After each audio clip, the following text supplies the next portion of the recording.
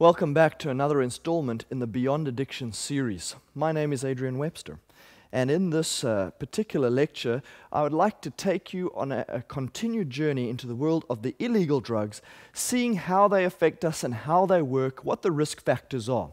We began this subsection in the broader Beyond Addiction series with our very last segment, which looked at the prescription drugs and the cocaine and the ecstasy.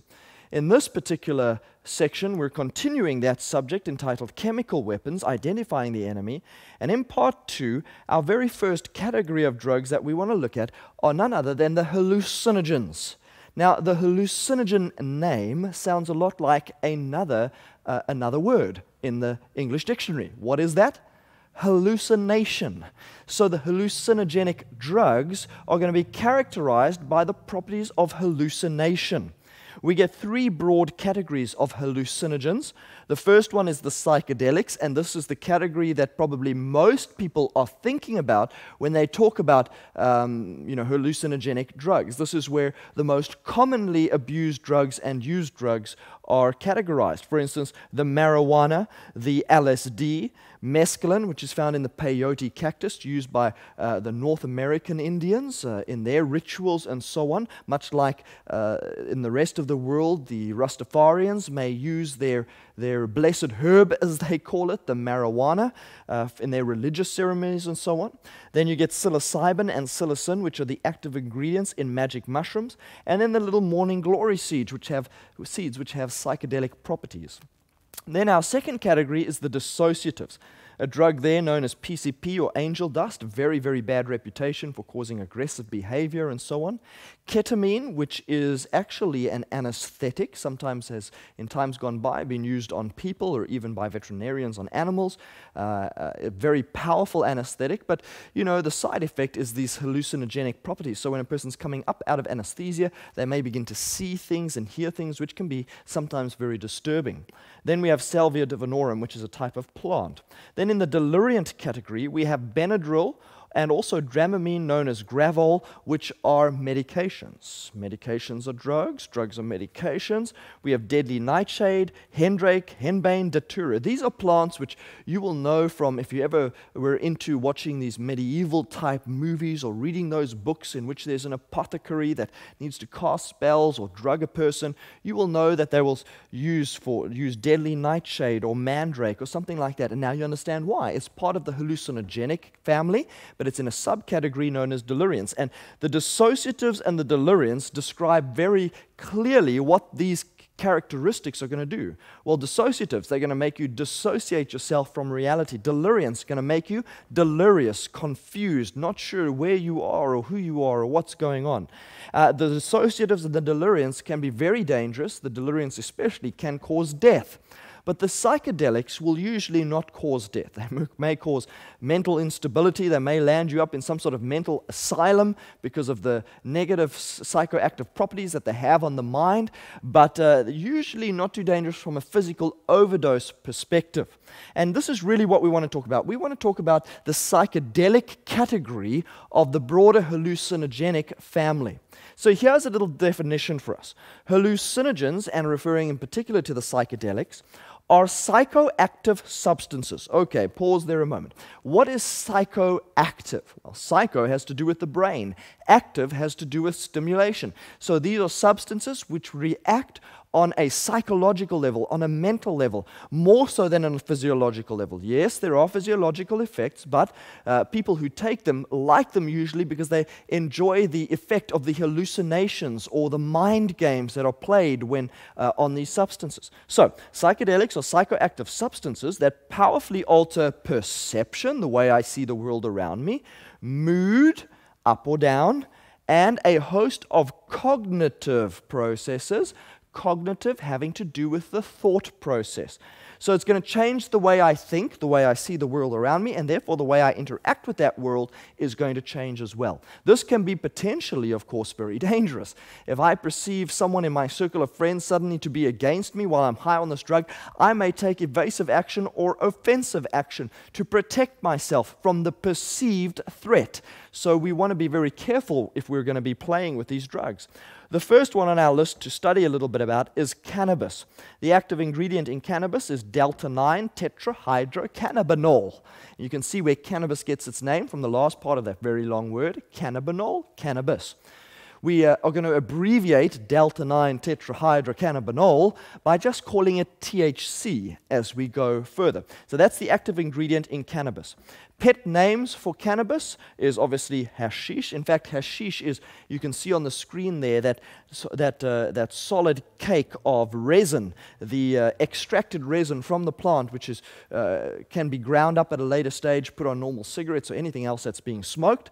So that is hashish. But uh, cannabis is also known as ganja, or as weed, or as pot, or as grass, or by a number of other names depending on where it's grown and what its quality and what its properties are. You get Malawi gold and you get Swazi and you get all sorts of different types of uh, and different grades of the cannabis plant that's used recreationally. Methods of administration. Well, cannabis can be smoked, inhaled into the lungs. This is obviously the uh, method of administration that is most commonly associated with this drug. We all know about smoking the chalice or the bong or the pipe or the joints or whatever it is. It can also be made into a tea, an infusion, but relatively inefficient in this form. It may also be used in baking experience, making cakes or cookies. And so sometimes uh, you will hear or you will see on the news or in the newspaper uh, an incident where somebody has taken some cakes and cookies to school and they shared it with their friends and their teacher, and well, uh, some strange things happened after that because it can be built into or baked into some of these foodstuffs. Vaporization is a method that's very seldom used. It requires specialized equipment whereby the substance is heated to a very high temperature, 180 degrees to 200 degrees centigrade. And then what is emitted is not so much a smoke as it is the THC fumes, again, inhaled into the lungs and travels to the, to, to the brain through the bloodstream. Active dosage is as little as 2 to 3 milligrams. Very difficult to even measure that amount. Uh, so that is the amount that will be felt in the human body, 2 to 3 milligrams. But just park that value in the back of your mind somewhere. When we talk about LSD in a few moments, we're going to talk about the active dosage for LSD, and we can compare these to get an, an idea of how powerful LSD is. And yes, drugs are medications. Medications or drugs. Did you know that cannabis in some countries, there's a lot of controversy around this, of course, but in some countries, the government legislates that a certain number of plants may be grown for personal use if a medical certificate is present. Uh, you know, four or five or six plants or whatever the permission is, not to be bought, not to be sold, not to be shared in any other way for medicinal purposes. In the case of analgesia, the need to kill off pain. In the case of movement disorders such as multiple sclerosis, which is an autoimmune disease whereby the, the immune cells of the body actually attack the nerves in the spinal column, and uh, this causes little ulceration that takes place there, very painful experience. Uh, it comes and it goes as these attacks occur, a little bit like mouth ulcers inside of someone's mouth. But of course, as those as those sores heal on those neural pathways, they cause scar tissue, which hinders the transmission of nerve impulses, resulting in a movement disorder because the brain cannot communicate with the rest of the body parts as to how they ought to, uh, ought to respond to the cognitive process. So, in those cases, sometimes cannabis is allowed and prescribed for medicinal purposes. Very controversial, of course. How does cannabis work inside the brain? This is a very interesting study. It's one of the more complex, so you're going to have to think about this a little bit. You've survived our discussion on caffeine and tobacco and alcohol and all the rest of uh, all the previous illegal drugs.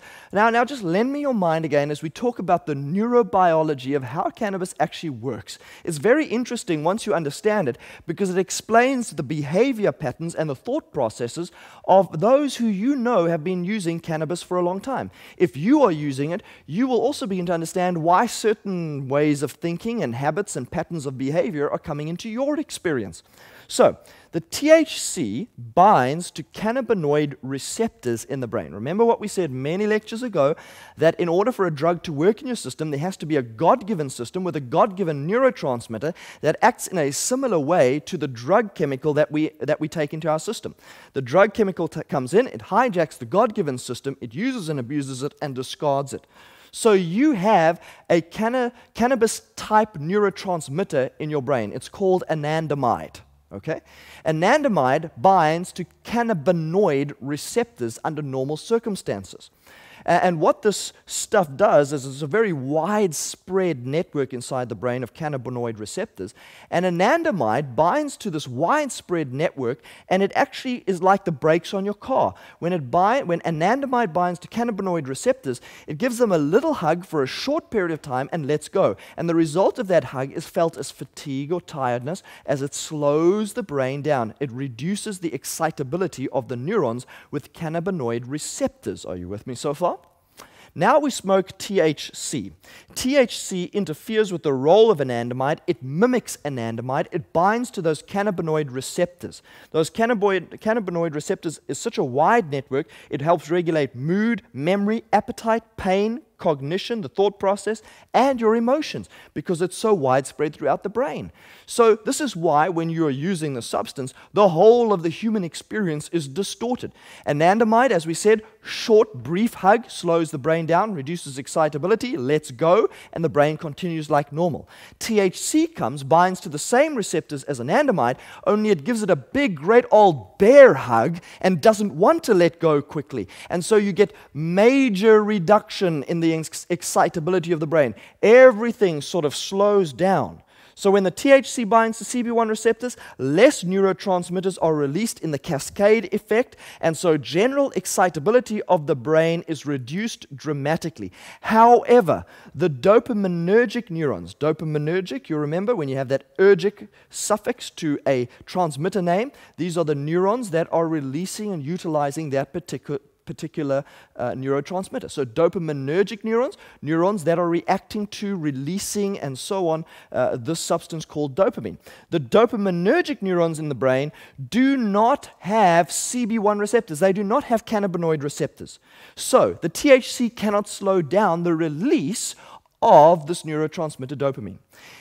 The way the dopamine neurons get the message to slow down the release of, dop- of dopamine is very simple. They have GABA receptors, gamma aminobutyric acid. So in the rest of the brain, slowed down by anandamide. In the dopamine center of the brain, that area is slowed down and reduced, the excitability is reduced through GABA. Now, think about this. The neurons that release GABA that tell the dopamine to slow down, those neurons releasing the GABA, they have cannabinoid receptors. They react to anandamide. Are you with us? So when I smoke my THC, it gets into the system. It tells the whole brain to slow down dramatically, and it tells the neurons that release GABA, which is supposed to slow down dopamine, that they must stop releasing GABA. So if GABA is the brakes for the dopamine system, and I've just told, I've just put the brakes on the brakes, in other words, I'm releasing less GABA, then it sends the opposite message to the dopamine neurons that guess what? I must release more dopamine because there's no more braking system for the dopamine. The, the the THC has put the braking on the GABA system.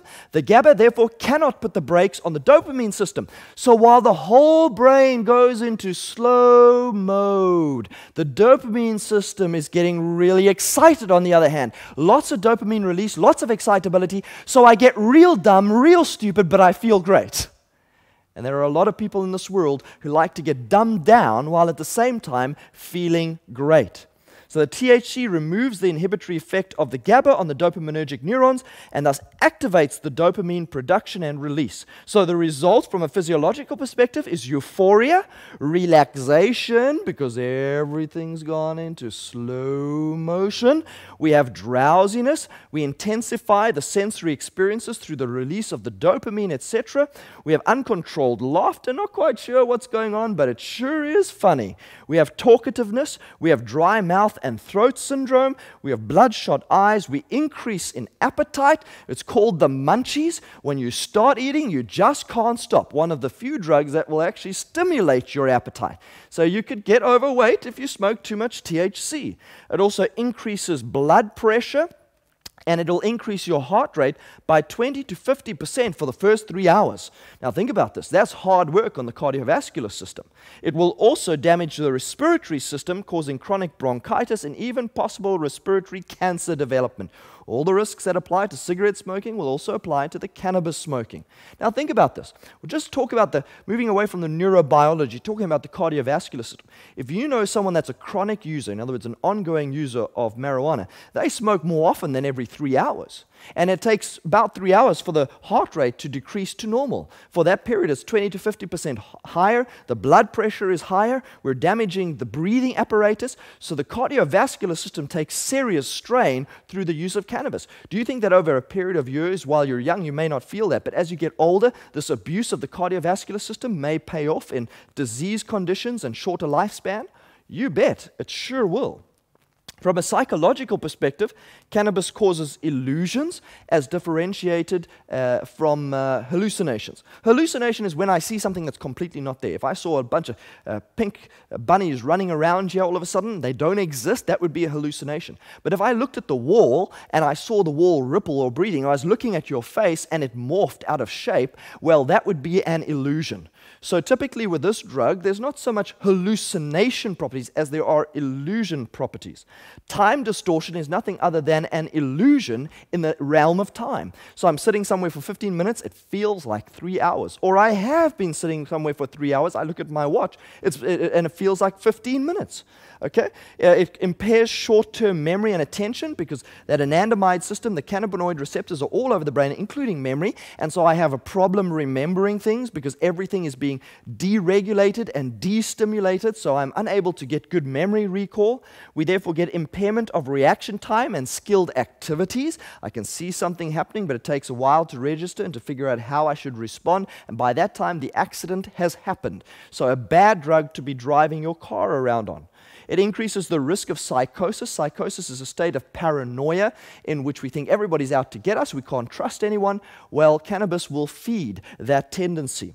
It causes long term cognitive impairment in the area of memory, in the area of paying attention, in the area of organization and integration of complex information. So, if you're hoping to be an engineer one day or a doctor where you're going to have to make decisions, where you're going to have to study hard, this is not the drug for you. If you're going to go into the exam room and smoke your marijuana joint outside a little while before because you're nervous, yes, it's going to definitely relax you because it's going to put your whole brain in slow motion. But don't think you're going to get much done in the exam. It's going to also impair your memory recall ability. So, all that's going to happen is you are going to fail in style. You're going to go down feeling great, but you're probably going to seriously impair your ability to do well at school, to do well at university, to do something with your brain. And then, of course, it has spiritual side effects as well. We note here a statement that cannabis has an ancient history of ritual usage as a trance inducing drug in and is found in pharmacological cults around the, wall, around the world. A cult, some sort of religious experience, pharmacological, a religious experience which uses substances to create altered states of consciousness to bridge the gap between the physical and the spiritual world. So there are pharmacological cults, religious experiences around the world that will use different types of chemicals. As I say, in North America, uh, North American Indians and shamanism, they may use uh, uh, something like mescaline from the peyote cactus. So we'll come back to this concept when we talk about LSD. On the screen, you see a cannabis seeds and, of course, a ripe head of cannabis ready uh, for plucking. Lysergic acid diethylamide, LSD, my personal drug of choice from the bad old days when I was involved in this drug world. It's known as A, it's known as acid, it's known as LSD, or various different names according to the image that you see there on the blotting paper. So one would be called Hofmann's, and something else would be called Yin Yangs, and something else would be called Beavis's, but it depends what the image is. Uh, and of course, those are different doses, and so each of those different types of LSD, so to speak, uh, have different reputation for the intensity of effect. Let's look at a brief history of how this drug came into existence, and then you decide for yourself whether this is a safe one to play with. Well, it was invented by a, a chemist by the name of uh, Albert Hofmann. Uh, this is a picture of him in 1993. And uh, it was discovered in 1938. He was doing some experimentation for a, for a drug company, looking for some cures to some problems, and he discarded this initially because it wasn't doing what it was supposed to be doing. Well, he uh, discovered quite accidentally the psychoactive effects of it when he got some on his skin while uh, moving it around in his laboratory, and before you knew it, he was uh, high as a kite, so to speak. Well, he noticed, and as he shared the symptoms of the drug high with his, his psychiatric uh, doctor friends and so on, they began to realize that the symptoms exhibited when high on this drug were very similar to the symptoms that were brought to light by their patients that they were seeking to treat for schizophrenia. So some of these medical professionals started messing with this drug, taking it to gain a subjective experience of what the schizophrenic goes through so they would be better able to help them. So, who would like a little bit of schizophrenia for Saturday night entertainment? You see, if, if, if, the, if the medical prof- professionals are seeing a similarity in the profile of effects with that of schizophrenia, and no one wants schizophrenia for fun, most people are seeking a cure from it, then why do we go and take a substance that gives us the same symptoms? It doesn't make any sense. Well, it went further from there. The CIA, Central Intelligence Agency of the United States of America, discovered that it may have some potential as a mind control substance. Why bomb the daylights out of your enemies if you can open them up to, in a state of suggestibility by which you can control their thinking and reprogram their thinking so they would become your allies and do your bidding? And so they began experimenting with this. This was leaked to the public, there was major public outcry, and so a stop was put to this project. It was known as Project uh, MK Ultra, and you can look it up and study it for yourself. Then, of course, it hit the streets in the 1960s. In the hippie movement, it was uh, legal for almost a decade. It was not yet outlawed until towards the end of the 60s when they began to see the negative effects and the fallout of this substance. They realized it was dangerous. They put a lid on it, scheduled it, and it became a controlled substance. Now you can see a guy who's high on LSD. You can see he's out touring the universe in his imagination. He is really not with it at all. He's in another place altogether. How does LSD work neurobiologically? Very interestingly, well, it works on most of the serotonin receptor subtypes. It also works on the dopamine receptor subtypes, and it also works on all the adrenoreceptor subtypes.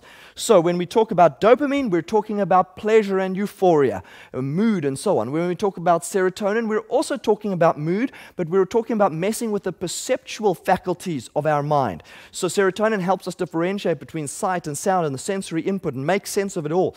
We cause a short circuit there, and that may be why we have the hallucinogenic hallucinogenic properties uh, associated with LSD.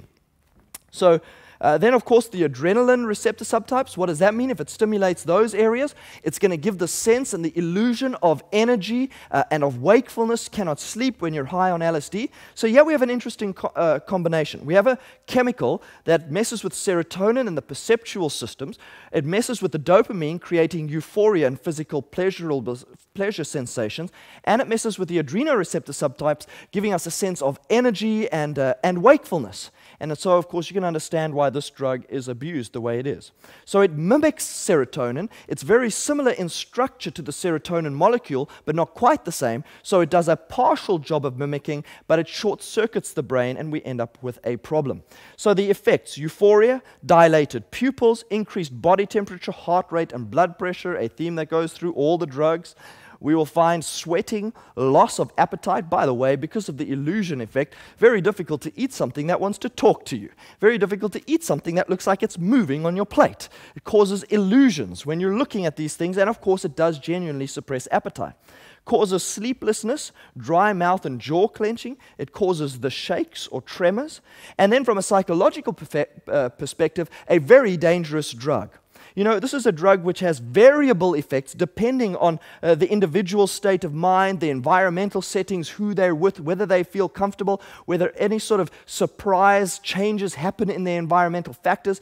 As quickly, as great as it can be in the positive, good trip sense, it can also very quickly cause uh, bad trips. It causes the sensation of illusions, just like with marijuana previously, and, uh, and of course, the good trip, bad trip scenario, as we were saying. So, one minute I'm happy and I'm enjoying it and I'm euphoric. Next minute, environmental factor changes that I didn't bet on. Uh, somebody walks into the room. I don't know what's going on. I become confused. I become anxious. I become paranoid. And I completely freak out in a state of anxiety. I've had a few of those friends, and it is not a good place to be.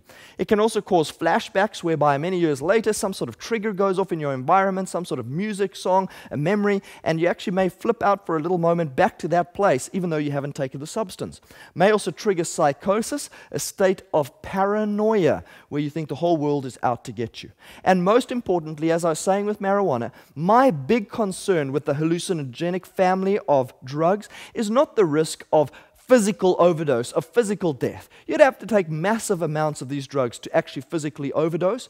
But my main concern here is that LSD and cannabis and the hallucinogenic drugs are drugs which are regarded as a religious sacrament or a powerful tool to access the divine being. Many books have been written comparing the LSD trip to the state of enlightenment of Eastern philosophy.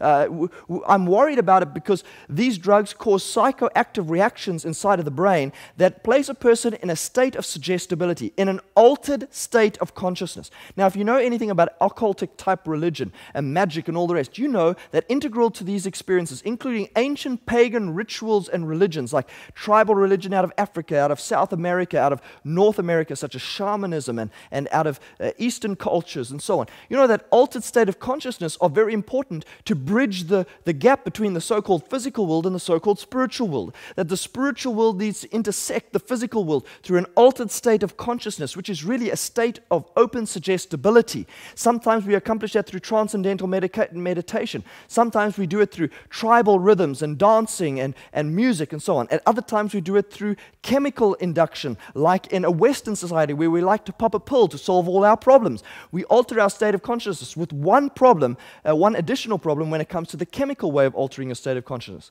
Because it's chemically induced, you can't just shut the door if you encounter something you don't like. My, the big risk in my mind associated with these drugs is the spiritual risk. It's the fact that we open our mind up to suggestibility and, and we don't know what spiritual realities we're going to encounter. We get away with it a few times, but eventually we get to a point maybe where we encounter the dark side of the spiritual world. What happens when you've thrown the door open chemically and you cannot just shut it again? You don't want to go there, but you're already there. You're in the state of suggestibility, an altered state of consciousness. And now what? You see, there are serious spiritual risks. We were talking about the active dosage of, of, of, uh, of marijuana, two to three milligrams. Well, with LSD, it's 100 to 500 micrograms. I mean, that, is, uh, that makes it one of the most powerful psychoactive substances known to man. And we are playing with this stuff as if it's child's play.